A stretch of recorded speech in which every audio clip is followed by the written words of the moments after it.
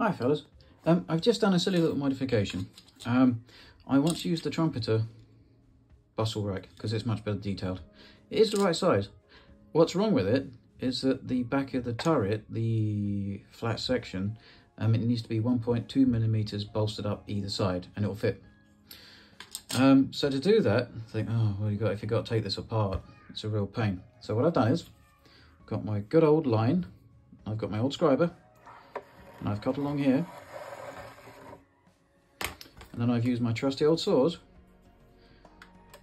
And when the scribe line I saw through, so it's a very, very, very thin line. You shouldn't see this when the bustle rack and everything's on because it's underneath the turret.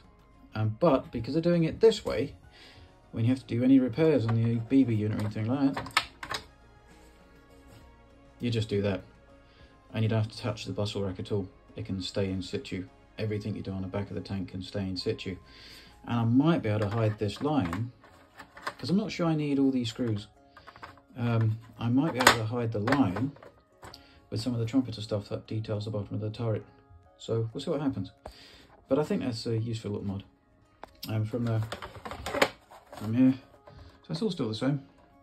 So if I push it down, it needs to be screwed down. If it's screwed down, you won't notice that. So um, yeah, hopefully that can help someone. Um, so that means you can detail your bustle racks better without having to worry about damaging them when you're taking it apart. And thanks fellas, have a nice Saturday. And sorry I've not done much on it, um, I've just been so busy. Bye. And this is it with it put back in, so I'm going quite low, it's a bit hard to see how my lights are shining. It's not that noticeable. So it should work, and this is solid.